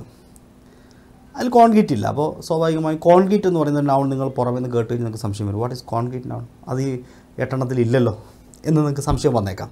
അതുകൊണ്ട് പറയുകയാണ് യഥാർത്ഥത്തിൽ ഈ മെറ്റീരിയൽ നൗണിന്റെ മറ്റൊരു പേരാണ് കോൺക്രീറ്റ് നൗൺ മെറ്റീരിയൽ നൗണും കോൺക്രീറ്റ് നൗണും ഒന്നാണ് എന്ന് പറഞ്ഞാൽ പൂർണമായും ശരിയാവില്ല. എന്നാൽ ഒന്നാണ്. എന്നാൽ അവിടെ എന്തോ ചെറിയൊരു പ്രശ്നമുണ്ട്. ഓക്കെ എന്നാൽ അവിടെ ചെറിയ ഒരു വ്യത്യാസമുണ്ട്. അതെന്താണെന്ന് നോക്കാം. അതായത് പലപ്പോഴും മെറ്റീരിയൽ നൗൺ കോൺക്രീറ്റ് നൗണും ചില നോട്ടുകൾ ചിലപ്പോൾ മെറ്റീരിയൽ പകരം അവർ ഉപയോഗിച്ചിട്ടുണ്ടാവും കോൺക്രീറ്റ് നൗൺ എന്നായിരിക്കും മെറ്റീരിയൽ നമ്മൾ ചില ഗ്രാമറിയൻസ് ചിലപ്പോൾ ചില നോട്ടുകൾ തരാറില്ല. പക്ഷേ അതിന് ഡീറ്റെയിൽ ആയിട്ട് നമ്മൾ മനസ്സിലാക്കുമ്പോൾ നമ്മൾ തിരിച്ചറിയേണ്ട കാര്യമുണ്ട്. മെറ്റീരിയലും കോൺക്രീറ്റും പൊതുവെ ഒരു ഒന്നായിട്ടാണ് പരിഗണിക്കുന്നതെങ്കിലും രണ്ടും തമ്മിൽ ചെറിയ വ്യത്യാസമുണ്ട്. ആ വ്യത്യാസമാണ് നമ്മളതിന് പരിഗണിക്കാൻ പോകുന്നത് ശ്രദ്ധിക്കാൻ പോകുന്നത്. അതായത് മെറ്റീരിയൽ നൗണും കോൺക്രീറ്റ് നൗണും ഒന്നാണ്. ഹാവിങ് ഫിസിക്കൽ എക്സിസ്റ്റൻസ് ഉള്ള നാമങ്ങളാണ്. അതെന്തുകൊണ്ടാണ് ഒന്നെന്ന് പറയുന്നത് വെച്ച് കഴിഞ്ഞാൽ രണ്ടും ഫിസിക്കൽ എക്സിസ്റ്റൻസ് ഉണ്ട്. രണ്ടും ഈ പ്രപഞ്ചത്തിൽ അതിനൊരു രൂപമുണ്ട്. രൂപമില്ലാത്ത നാമങ്ങളുണ്ട്. നമ്മൾ പഠിക്കാൻ പോണേയുള്ളൂ അപ്പോൾ അതിന് രണ്ടിനും ഫിസിക്കൽ എക്സിസ്റ്റൻസ് ഉണ്ട്. രൂപമുണ്ട്. അപ്പോൾ അത് രണ്ടും ആ അർത്ഥത്തിൽ സെയിം ആണ്. എന്നാൽ കോൺക്രീറ്റ് നൗണുകളുടെ പ്രത്യേകത അപ്പോൾ വ്യക്തമായ രൂപമുള്ളതായിരിക്കും. Book chair car pencil. ഇവയൊക്കെ കോൺക്രീറ്റ് ആണുള്ള കോൺക്രീറ്റ് എന്ന് പറയുമ്പോൾ രൂപം അല്ലേ? Book chair car pencil etcetera എന്നാൽ മെറ്റീരിയൽ നൗണുകൾ പരസ്പരം കൂട്ടിച്ചേർത്ത മറ്റൊരു രൂപമോ അവസ്ഥയോ ആയിട്ട് മാറും. ഇപ്പോൾ ബുക്ക് ബുക്ക് ഇപ്പോൾ കൂട്ടിച്ചേർത്തിട്ട് വേറെ ഒന്നും ചെയ്യാൻ സാധിക്കില്ല. ഇത് പരസ്പരം കൂട്ടിച്ചേർക്കാൻ പറ്റുന്ന സാധനങ്ങളല്ല. ഇവയൊക്കെ വളരെ കോൺക്രീറ്റ് നൗൺസ് എന്ന് പറഞ്ഞാൽ അതിന്റെ അർത്ഥം എത്രയേ ഉള്ളൂ. അവ കോൺക്രീറ്റ് ആയിരിക്കും അവയ്ക്ക് വ്യക്തമായ രൂപമുണ്ട്. എന്നാൽ മെറ്റീരിയൽ നൗൺസുകളുടെ പ്രശ്നം അവയ്ക്ക് രൂപമുണ്ട് പക്ഷേ എന്തില്ല? രൂപമില്ല. അതായത് അവയെ മറ്റ് പല രൂപത്തിലേക്കും നമുക്ക് എന്ത് ചെയ്യാൻ പറ്റും? മാറ്റിയെടുക്കാൻ പറ്റും. മറ്റ് രൂപങ്ങളിലേക്ക് മറ്റ് അവസ്ഥകളിലേക്ക്. മറ്റൊരു രൂപമായോ മറ്റൊരു അവസ്ഥയാക്കിയിട്ട് നമുക്ക് മാറ്റാൻ സാധിക്കും. സിമന്റ് എന്ന് പറയുന്നതിനെ നമുക്ക് വേറെ രൂപത്തിലേക്ക് മാറ്റിയെടുക്കാൻ സാധിക്കും. വെള്ളത്തിനെ നമുക്ക് മറ്റ് പലതുമായി ചേർത്ത് മറ്റൊരു അവസ്ഥയാക്കി മാറ്റിയെടുക്കാൻ സാധിക്കും. അങ്ങനെ മറ്റൊരു രൂപമോ അവസ്ഥയോ ആക്കി മാറ്റിയെടുക്കുന്നവയാണ് മെറ്റീരിയൽ നൗൺസുകൾ. കൃത്യമായ രൂപമുള്ള എന്തിനേയും നിങ്ങൾക്ക് കോൺക്രീറ്റ് എന്ന് സ്പെസിഫൈ ചെയ്ത് വിളിക്കാവുന്നതാണ്. ഇതാണ് ഇവ തമ്മിലുള്ള വ്യത്യാസം. അപ്പോൾ മെറ്റീരിയൽ നൗണിന്റെ കൂടെ കോൺക്രീറ്റ് എന്ന് പറയുന്ന പറയുന്ന പദം കൂടി മനസ്സിലാക്കി വെക്കുക എന്നുള്ളതാണ് നമ്മളിവിടെ നിന്ന് മനസ്സിലാക്കേണ്ടത്. ഇനി ഈ ഒരു ചോദ്യത്തിന്റെ ഉത്തരം. അഞ്ചാമത്തെ ചോദ്യമാണ്. Which word is a material noun? My mother wears gold jewel jewelry. My mother wears gold jewelry. ഈ തന്നിരിക്കുന്ന ഈ ഒരു സെന്റൻസിനകത്ത് ഒരു material നൗണുണ്ട് option A wears B jewellery C mother D gold answer നിങ്ങളുടെ നോട്ട്ബുക്കിൽ രേഖപ്പെടുത്തുക. ആറാമത്തേത്. അബ്സ്ട്രാക്ട് നൗൺ ഭൗതികമായി നിലകൊള്ളാത്തതാണ് അബ്സ്ട്രാക്ട് നൗണുകൾ ഇതിന് എന്തില്ല? ഫിസിക്കൽ എക്സിസ്റ്റൻസ് ഇല്ല. തൊട്ട് മുമ്പ് പറഞ്ഞ മെറ്റീരിയൽ നൗണുകൾക്ക് അല്ലെങ്കിൽ കോൺക്രീറ്റ് നൗണുകൾക്ക് എന്തുണ്ട്? ഫിസിക്കൽ എക്സിസ്റ്റൻസ് ഉണ്ട്. അത് നിലകൊള്ളുന്നവയാണ്. എന്നാൽ അബ്സ്ട്രാക്റ്റ് നൗണുകൾക്ക് എന്തില്ല? ഫിസിക്കൽ എക്സിസ്റ്റൻസ് ഇല്ല. സാധാരണയായിട്ട് ആശയങ്ങളെയും വികാരങ്ങളെയും ഗുണങ്ങളെയും അതായത് ഐഡിയ ഫീലിങ്സ് ക്വാളിറ്റീസ് ഏതെങ്കിലും തരത്തിലുള്ള ഐഡിയകൾ ഫീലിങ്സുകൾ ക്വാളിറ്റീസിനെയാണ് അബ്സ്ട്രാക്റ്റ് നൗൺ കൊണ്ട് സൂചിപ്പിക്കുന്നത്. പഞ്ചേന്ദ്രിയങ്ങൾ കൊണ്ട് സ്പർശിച്ചറിയാൻ സാധിക്കാത്തവയായിരിക്കും അബ്സ്ട്രാക്റ്റ് നൗൺസ് പഞ്ചേന്ദ്രിയങ്ങൾ കൊണ്ട് നമ്മുടെ സെൻസ് ഓർഗൻസ് കൊണ്ട് ഇവയെ അറിയാൻ സാധിക്കില്ല. സമയം സോറി സമയം. അപ്പോൾ നിങ്ങൾക്ക് തോന്നും സമയം ക്ലോക്കിൽ നോക്കിയാൽ മനസ്സിലാവില്ലേ? കണ്ടറിയാലോ ഇല്ല. സമയം എന്ന് പറയുന്നത് സത്യത്തിൽ നമുക്ക് കണ്ടറിയാനോ നോക്കി കാണാനോ തൊട്ടു നോക്കാനോ തിന്നു നോക്കാനോ പറ്റില്ല. രുചിച്ചറിയാനോ സാധിക്കില്ല. സമയം. അല്ലേ? അതൊരു ഒരു ഒരു ഒരു ഒരു സങ്കല്പം മാത്രമാണ്. ടൈം എന്ന് പറയുന്ന ഒരു സങ്കല്പം മാത്രമാണ്. അല്ലേ? അതിങ്ങനെ നമ്മൾ ഇന്ന സമയത്ത് ഇന്ന സമയം ഓരോ സമയത്ത് നമ്മൾ ഓരോന്ന് പറഞ്ഞുകൊണ്ടിരിക്കും. അപ്പോൾ സമയം എന്ന് പറയുന്നത് ക്ലോക്കിൽ കാണിക്കുന്നത് നമുക്ക് തിരിച്ചറിയാൻ വേണ്ടിയുള്ള ഒരു സാങ്കേതികമായിട്ടുള്ള മാർഗം മാത്രമാണ് ക്ലോക്ക്. ഒരു സംവിധാനം മാത്രമാണ് സമയം എന്ന് പറയുന്ന ആശയം ദാറ്റ്സ് ആൻ ഐഡിയ അതൊരു ഐഡിയ അതൊരു ഒരു ഒരു സങ്കല്പമാണ് ഒരു തോന്നലാണ്. അല്ലെങ്കിൽ നമ്മൾ ബാക്കിയുള്ള ക്ലോക്കും വാച്ചൊക്കെ നമ്മളത് തിരിച്ചറിയാൻ വേണ്ടി ഉണ്ടാക്കി വെച്ചിട്ടുള്ള ചില എക്യുപ്മെൻസുകൾ മാത്രമാണ്. ഓക്കെ ചില ഡിവൈസസ് മാത്രമാണ്. ലവ് സ്നേഹം തൊട്ടു നോക്കാൻ പറ്റുമോ തിന്നു നോക്കാൻ പറ്റുമോ കാണാൻ പറ്റുമോ കേൾക്കാൻ പറ്റുമോ ഇല്ല. എത്രമാത്രം സ്നേഹമുണ്ടെന്നൊക്കെ ചോദിക്കും ചില ആൾക്കാർ നിനക്ക് എന്നോട് എത്രമാത്രം സ്നേഹമുണ്ട്? അപ്പോൾ പറയുന്നത് കടലോളം സ്നേഹമുണ്ട്. അല്ലെങ്കിൽ അതുപോലെ എന്തെങ്കിലും അല്ലേ നമ്മൾ അത്തരത്തിലുള്ള ചില ഒഴുകഴിവുകൾ പറഞ്ഞായിരിക്കും നമ്മൾ മാറുക. അല്ലേ? നിങ്ങളോട് ആരെങ്കിലും ചോദിച്ചിട്ടുണ്ടോ? നിനക്ക് എന്നോട് എത്രമാത്രം ഇഷ്ടമുണ്ടെന്ന്. അപ്പോൾ ഇഷ്ടം സ്നേഹം എന്ന് പറയുന്നത് it cannot be counted it cannot be measured അളന്നു നോക്കാൻ സാധിക്കില്ല. തൊട്ട് നോക്കാൻ പറ്റില്ല. It cannot be touched it cannot be smelled it cannot be eaten അല്ലേ ടേസ്റ്റഡ് നമുക്കിത് ഒന്നും ചെയ്യാൻ സാധിക്കില്ല. സ്നേഹം എന്ന് പറയുന്നത് ഒരു സങ്കല്പമാണ് അപ്പോൾ നമുക്ക് ഫീൽ ചെയ്യാൻ ഫീലിങ്സ് മാത്രമാണത്. മനുഷ്യന്റെ ഫീലിങ്സ് ആണത്. ഫിയർ ഭയം ഇറ്റ്സ് ഓൾസോ ഫീലിംഗ് ഫ്രീഡം സ്വാതന്ത്ര്യം എന്ന് പറയുന്നത്. അല്ലേ ലക്ക് ജസ്റ്റിസ് നീതി സത്യം. ഇതെല്ലാം ചില ആശയങ്ങളാണ്. ചില ആശയങ്ങളെ നമ്മൾ വിളിക്കുന്ന പേരുകളാണ് ഈ പറഞ്ഞവയെല്ലാം. ഇതൊന്നും നമുക്ക് പഞ്ചേന്ദ്രിയങ്ങൾ കൊണ്ട് അറിയാൻ സാധിക്കുന്നവയല്ല. ഇവയ്ക്കൊന്നും ഒരു രൂപമില്ല. ട്രൂത്ത് സത്യത്തിന്റെ രൂപം ഏതാണ്? എന്ന് ചോദിച്ചു കഴിഞ്ഞാൽ പറയാൻ പറ്റുമോ? ഇല്ല. സ്നേഹത്തിന്റെ രൂപം ഏതാണ്? പറയാൻ പറ്റുമോ? ഇല്ല. അതിന്റെ നിറം ഏതാണ്? പറയാൻ പറ്റില്ല. ഓക്കെ അപ്പോൾ അതുകൊണ്ട് അബ്സ്ട്രാക്റ്റ് എന്ന് പറയുന്നത് ഭൗതികമായി നിലകൊള്ളാത്തതാണ്. അത്രയും പഠിച്ചാൽ മതി. അവ ഐഡിയ ആവാം ഫീലിങ്സ് ആവാം ക്വാളിറ്റീസ് ആവാം. ഈ ചോദ്യത്തിന്റെ ഉത്തരം രണ്ടായിരത്തി പതിനഞ്ചിലെ പോലീസ് കോൺസ്റ്റബിൾ പരീക്ഷയുടെ ഒരു ക്വസ്റ്റിനാണ് pick out an abstract noun chair crowd England fear വേഗം ആൻസർ എഴുതിക്കോളൂ. എഴുതിയാ? ഓക്കെ നെക്സ്റ്റ് കോമ്പൗണ്ട് നൗൺസ് ഏഴാമത്തെ നാമത്തിലേക്ക് നമ്മൾ കിടക്കാം compound nouns what is compound noun വളരെ സിമ്പിളാണ് നിങ്ങൾക്ക് പരീക്ഷയ്ക്ക് കോമ്പൗണ്ട് നൗൺ എന്ന് പറയുന്ന ഒരു ടോപ്പിക്ക് തന്നെ പഠിക്കാനുണ്ട്. Compound nouns or compound words അതുകൊണ്ട് ഇവിടെ ഞാൻ വാട്ട് ഈസ് കോമ്പൗണ്ട് വേർഡ്സ് അല്ലെങ്കിൽ വാട്ട് ഈസ് കോമ്പൗണ്ട് നൗൺസ് എന്ന് മാത്രം ജസ്റ്റ് പറഞ്ഞു പോകാം. ജസ്റ്റ് ഫോർ അണ്ടർസ്റ്റാൻഡിങ് എന്താണെന്ന് പറയാം? പക്ഷേ ഇതിനെക്കുറിച്ച് ആഴത്തിൽ കുറേ എക്സാമ്പിൾസ് ഒക്കെ വെച്ച് പഠിക്കണം. അത് വേറെ തന്നെ ടോപ്പിക് ആയതുകൊണ്ട് ഇതിനെ തുടർന്ന് വരുന്ന ക്ലാസ്സിൽ ഈ കോമ്പൗണ്ട് വേർഡ്സ് എന്ന് പറയുന്ന ഒരു ഒരു ഒരു ക്ലാസ് തന്നെ ഞാൻ ചെയ്യുന്നതായിരിക്കും. അപ്പോൾ നിങ്ങൾ വിചാരിക്കും അത്രമാത്രം പഠി അത്രമാത്രം പഠിക്കാനൊന്നുമില്ല. സംഭവം വളരെ സിമ്പിളാണ് പക്ഷേ സിലബസിൽ അതൊരു ടോപ്പിക് ആയതുകൊണ്ട് അത് ഞാൻ വേറെ തന്നെ പറയാം. അപ്പോൾ വാട്ട് ഈസ് കോമ്പൗണ്ട് നൗൺസ് രണ്ടോ അതിലധികമോ വാക്കുകൾ കൂടിച്ചേർന്നുണ്ടാകുന്ന നാമങ്ങളാണ് കോമ്പൗണ്ട് നൗൺസ് ഇപ്പോൾ നിങ്ങൾ നോക്കിയാൽ റെയിൻഫോൾ എന്ന് പറഞ്ഞാൽ എന്താ? നമ്മൾ സാധാരണ മഴയ്ക്ക് പറയുന്ന എന്താണ്? മഴ പെയ്യുന്നതിനെയാണ് നമ്മൾ റെയിൻഫോൾ എന്ന് പറയാം. എന്നാൽ അതിന്റെ ഉള്ളിൽ തന്നെ രണ്ട് വാക്കുണ്ട്. ഏതാ? മുറിച്ചാൽ ഫോൾ വേറെയും കിട്ടും റെയിൻ വേറെയും കിട്ടും. ഇനി സണ്ണില്ലോനെ നമ്മൾ മുറിച്ച് നോക്കും. ഇതിനിടയിൽ ഒരു ഇന്നുണ്ട് കൂടാതെ രണ്ട് സിമ്പിൾ വേർഡ്സ് സണ്ണെന്ന് പറയുന്ന ഒരു സിമ്പിൾ വേർഡും ലോ എന്ന് പറയുന്ന ഒരു സിമ്പിൾ വേർഡും ഉണ്ട്.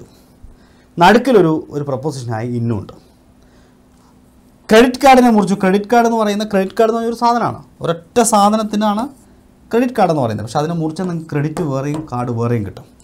അങ്ങനെ വ്യത്യസ്തമായിട്ടുള്ള വാക്കുകൾ കൂടി ചേർന്നുണ്ടാകുന്ന ഒറ്റ വാക്കിനെ ഒറ്റ നാമത്തെ കോമ്പൗണ്ട് നൗൺ എന്ന് വിളിക്കുന്നു. ഇത് ഇത്രയും മനസ്സിലാക്കിയാൽ മതി.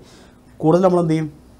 പിന്നീട് ഒരു ടോപ്പിക് ഉണ്ട്. ഒരു ഒരു ക്ലാസ്സിൽ ഞാനത് വിശദീകരിച്ച് പറയാം. ആ വിഭാഗത്തിന് മാത്രം വന്നിട്ടുള്ള കുറച്ച് ക്വസ്റ്റ്യൻസ് നമ്മൾ പരിചയപ്പെടാം. അപ്പോൾ തൽക്കാലം ഇപ്പോൾ ഒരു ചോദ്യം നിങ്ങൾ ചെയ്യും. Which of the following is not a compound noun താഴെ തന്നിരിക്കുന്നവരിൽ കോമ്പൗണ്ട് നൗൺ അല്ലാത്തത് ഏതാണ്? അപ്പോൾ ഞാൻ നേരത്തെ പറഞ്ഞിരുന്നു കോമ്പൗണ്ട് വേർഡ്സ് എന്ന് പറയുന്ന ടോപ്പിക് ഉണ്ടെന്ന്. എന്താണ്? കോമ്പൗണ്ട് വേർഡ്സ് കോമ്പൗണ്ട് വേർഡിൽ കോമ്പൗണ്ട് വെർബ് ഉണ്ട് കോമ്പൗണ്ട് നൗൺ ഉണ്ട് കോമ്പൗണ്ട് അഡ്ജക്റ്റീവ് ഉണ്ട് ഇങ്ങനെ പല സാധനമുണ്ട്. അത് നമുക്ക് പിന്നീട് പഠിക്കാം. കാരണം വെർബ് എന്താ നൗൺ എന്താ അഡ്ജക്റ്റീവ് എന്താണെന്ന് പഠിക്കാത്തവനോട് ഇത് വ്യക്തമായി പറഞ്ഞിട്ട് കാര്യമില്ല. ജസ്റ്റ് നിങ്ങളുടെ ഇപ്പോഴത്തെ നിലവിലെ നിങ്ങളുടെ ഒരു ഒരു നോളേജ് വെച്ചുകൊണ്ട് ഇതിന് ആൻസർ ചെയ്യാം. പിന്നീട് ഞാൻ അഡ്ജക്റ്റീവും നൗണും നൗൺ ഇപ്പോൾ പഠിച്ചുകൊണ്ടിരിക്കുകയാണ് അഡ്ജക്റ്റീവും വെർബും ആഡ് വെർബും ഒക്കെ പഠിച്ചതിന് ശേഷം കോമ്പൗണ്ട് വേർഡ്സ് എന്ന് പറയുന്ന അധ്യായം എടുക്കും. അപ്പം നിങ്ങൾക്ക് ഇതേ ചോദ്യം ഒന്നുകൂടെ ചോദിച്ചാൽ കൃത്യമായിട്ട് സംഗതി മനസ്സിലാവും. അപ്പോൾ ഇക്കൂട്ടത്തിൽ കോമ്പൗണ്ട് ഇവിടെ ശ്രദ്ധിക്കണം. കോമ്പൗണ്ട് നൗൺ എന്നാ ചോദിച്ചത്. അപ്പോൾ ഇതിൽ ഏതോ ഒരു കോമ്പൗണ്ട് നൗൺ ഉണ്ട് നാമമുണ്ട്. അത് കണ്ടുപിടിക്കണം. Sorry not a compound noun sorry sorry ഈ തന്നിരിക്കുന്നതിനകത്ത് കോമ്പൗണ്ട് നൗൺ അല്ലാത്ത ഏതോ ഒരു വാക്കുണ്ട്. നാമമല്ലാത്തത് അത് കണ്ടുപിടിക്കാനാണ് പറഞ്ഞിരിക്കുന്നത്. രണ്ടായിരത്തി പതിമൂന്നിലെ ഒരു എൽ ഡി സിയുടെ ചോദ്യമാണ്. നെക്സ്റ്റ് കളക്റ്റീവ് നൗൺസ് ഇതും മറ്റൊരു ടോപ്പിക്കായിട്ട് പിന്നീട് നമ്മൾ പ്രത്യേകമായി പഠിക്കുന്നുണ്ട്. കാരണം അത് പി എസ് സിയുടെ സിലബസിനകത്ത് ഒരു ടോപ്പിക്കാണ്. കോമ്പോ സോറി കളക്റ്റീവ് നൗൺസ് അപ്പോൾ ഇത് വളരെ ഡീറ്റെയിൽ ആയിട്ട് നമ്മൾ പിന്നീട് ഡിസ്കസ് ചെയ്യുന്നുണ്ട്. അത് അപ്പോൾ ഡിസ്കസ് ചെയ്യാം. ഇപ്പോൾ നമുക്ക് കാര്യം എന്താണെന്ന് നോക്കാം. What is collective nouns collective nouns എന്ന് പറഞ്ഞാൽ ഒരു കൂട്ടം ജീവികളെയോ വസ്തുക്കളെയോ സൂചിപ്പിക്കാൻ ഉപയോഗിക്കുന്ന നാമമാണ് കളക്റ്റീവ് നൗൺസ് ഒരു കൂട്ടത്തിനെ പറയാൻ ടീം അല്ലേ? കുറേ ആളുകളുടെ ഒരു ഒരു ടീം. പൈൽ ഇപ്പോൾ നമ്മൾ കുറേ തുണികളൊക്കെ ഇങ്ങനെ കൂട്ടിയിട്ടിരിക്കുകയാണ്. ഒരു കൂട്ടം. എ പൈൽ ഓഫ് ക്ലോത്ത്സ് അല്ല കുറേ പുസ്തകങ്ങൾ ഇങ്ങനെ അലക്ഷ്യമായിട്ട് കൂട്ടിയിട്ടിരിക്കുകയാണ്. എ പൈൽ ഓഫ് ഡ്രസ് അല്ലെങ്കിൽ കുറേ കരിയിലകൾ കൂട്ടിയിട്ടിരിക്കുന്നു. Dried leaves pile of dried leaves or some anything എന്തെങ്കിലും ഒരു സാധനം അലക്ഷ്യമായി കൂട്ടിയിട്ടിരിക്കുന്ന ഇങ്ങനെ എന്താ പറയുക കൂനയ്ക്ക് അല്ലെങ്കിൽ ആ കൂട്ടത്തിനെ എന്ന് വിളിക്കുന്നു. ഫ്ലോക്ക് എന്ന് പറഞ്ഞാൽ പക്ഷികളുടെയൊക്കെ ഒരു കൂട്ടം ബേഡ്സിന്റെയൊക്കെ ഒരു കൂട്ടം എ ഫ്ലോക്ക് ഓഫ് ബേഡ്സ് അതേപോലെ സ്വാം ഇൻസെക്റ്റുകളിൽ പ്രാണികളായിട്ടുള്ള എന്തും ഇപ്പോൾ ഉറുമ്പിന്റെ കൂട്ടം a swarm of ants a swarm of bees തേനീച്ചകളുടെ കൂട്ടം ഹെർഡ് സാധാരണ മാ എന്താ പറയുക മാമൽസ് ആയിട്ടുള്ള അനിമൽസിന്റെ ആന ആനയുടെ കൂട്ടം herd of elephants herd of cows പശുക്കളുടെ കൂട്ടം. ബഞ്ച് എന്ന് പറഞ്ഞാൽ നമുക്ക് കുല എന്ന അർത്ഥത്തിൽ ഒരു കുല ഒരു കുലപ്പഴം അല്ലെങ്കിൽ ഒരു കുല മുന്തിരി a bunch of a bunch of bananas a bunch of grapes അല്ലെങ്കിൽ നമ്മൾ താക്കോൽ കൂട്ടം എ ബഞ്ച് ഓഫ് കീസ് അങ്ങനെയൊക്കെ പറയും. അപ്പോൾ ഇങ്ങനെ ഒരു കൂട്ടത്തിന് പറയുന്ന എല്ലാ വാക്കും ഇത് ഞാൻ കുറച്ച് ഉദാഹരണം മാത്രമേ തന്നിട്ടുള്ളൂ. ഒരുപാട് ഒരുപാട് ഒരുപാട് വാക്കുകളുണ്ട് ഈ ലിസ്റ്റിൽ അത് കളക്റ്റീവ് നൗൺസ് എന്ന് പറയുന്ന ടോപ്പിക്ക് തന്നെ നമ്മൾ ഡിസ്കസ് ചെയ്യുമ്പോൾ കുറേ വാക്കുകൾ പരിചയപ്പെടാൻ പറ്റും. ഇപ്പോൾ നമ്മുടെ ഈ ഒരു ടോപ്പിക്കിൽ അങ്ങനെ പരി അത്രയും ഡീപ്പായിട്ട് പോകേണ്ട ആവശ്യമില്ല. Just what is collective noun എന്ന് പറഞ്ഞാൽ ഒരു കൂട്ടത്തിന് പറയുന്ന വാക്കാണ്. അത്രയും മനസ്സിലാക്കി വെച്ചാൽ മതി. ഉദാഹരണമായിട്ട് കുറച്ച് വേർഡ്സ് തന്നിട്ടുണ്ട്. എ ബാൻഡ് ഓഫ് മ്യൂസീഷ്യൻ സംഗീതജ്ഞരുടെ കൂട്ടം. എ ബോർഡ് ഓഫ് ഡയറക്ടേഴ്സ് ഡയറക്ടേഴ്സിന്റെ ഒരു കൂട്ടം. എ ക്വയർ ഓഫ് സിംഗേഴ്സ് പാട്ടുകാരുടെ കൂട്ടം. എ ക്ലാസ് ഓഫ് സ്റ്റുഡൻസ് ഒരു കുട്ടികളുടെ കൂട്ടം. Crowd of people gang of thieves pack of thieves panel of ഈ തീവ്സിന് കള്ളന്മാരുടെ കൂട്ടത്തിന് ഗ്യാങ് എന്ന് പറയും. ഗ്യാങ് ഓഫ് തീവ്സ് എന്ന് പറയുക panel of experts a team of players team of players കളിക്കാരുടെ ടീം ഇപ്പം എന്താണ് കളക്റ്റീവ് നൗൺസ് എന്ന് മനസ്സിലായല്ലോ? വളരെ simple what is collective noun collective noun എന്ന് പറഞ്ഞു കഴിഞ്ഞാൽ ഒരു ഗ്രൂപ്പിനെ ഒരു കൂട്ടത്തെ പറയാൻ വേണ്ടിയിട്ട് ഉപയോഗിക്കുന്ന നാമമാണ് കളക്റ്റീവ് നൗൺ അത്രയും മതി. ഇവിടെ അത്രയും ആവശ്യമുള്ളൂ. ഈ ചോദ്യത്തിന് ഉത്തരം എഴുതിക്കോളൂ. Really sorry okay which word is a collective noun the crowd was on the main street. The crowd was on the main street. ഈ തന്നിരിക്കുന്ന ചോദ്യത്തിൽ അതിന്റെ ഉത്തരം option A crowd B main C on D street ഈ ഒരു സെന്റൻസിനകത്ത് ഒരു collective noun ഉണ്ടെന്ന്. അതിന് ഉത്തരം നിങ്ങൾ നിങ്ങളുടെ നോട്ട്ബുക്കിൽ എഴുതാം. ഓക്കെ ഇനി നമുക്ക് പഠിക്കാനുള്ളത് സോറി അങ്ങനെ നമ്മൾ എട്ട് തരം നാമങ്ങളും പഠിച്ചു കഴിഞ്ഞു.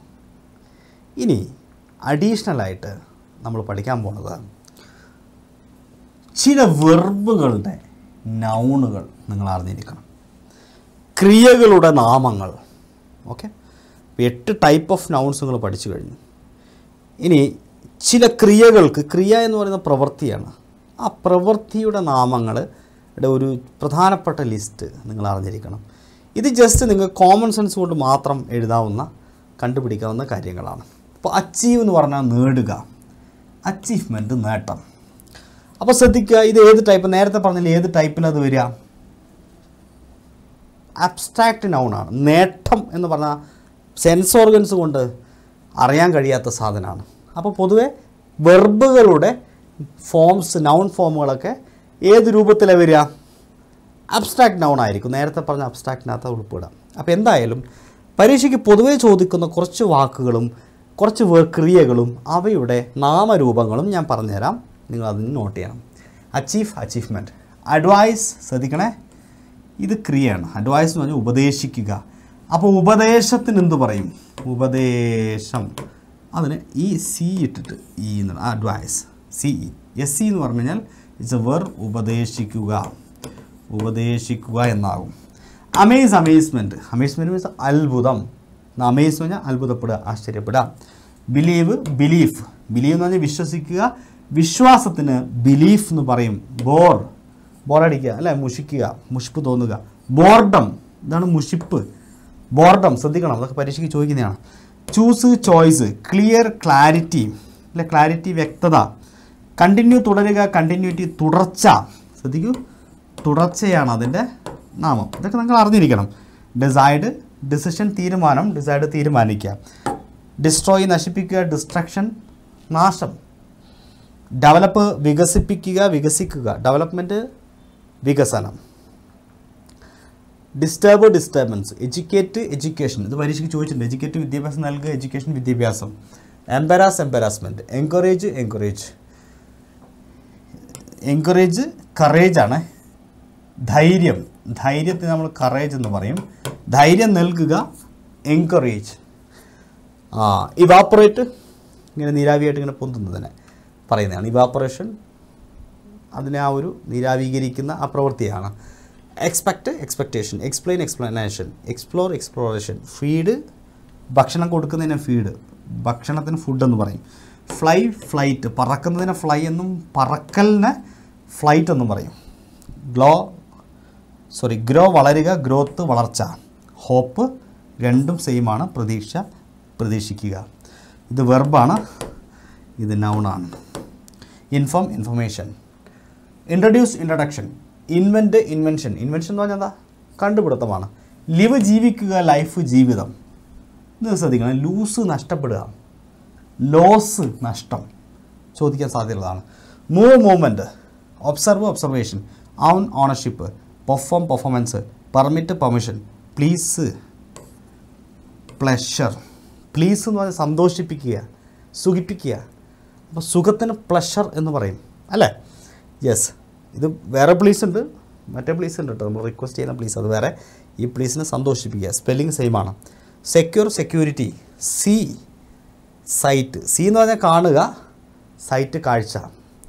സ്പീക്ക് സംസാരിക്കുക സ്പീച്ച് സംസാരം. ഇതൊക്കെ പരീക്ഷയ്ക്ക് ചോദിച്ചിട്ടുണ്ട്. ഈ സ്പീച്ചൊക്കെ പരീക്ഷയ്ക്ക് ഇതിനു മുമ്പ് ചോദിച്ചിട്ടുണ്ട്.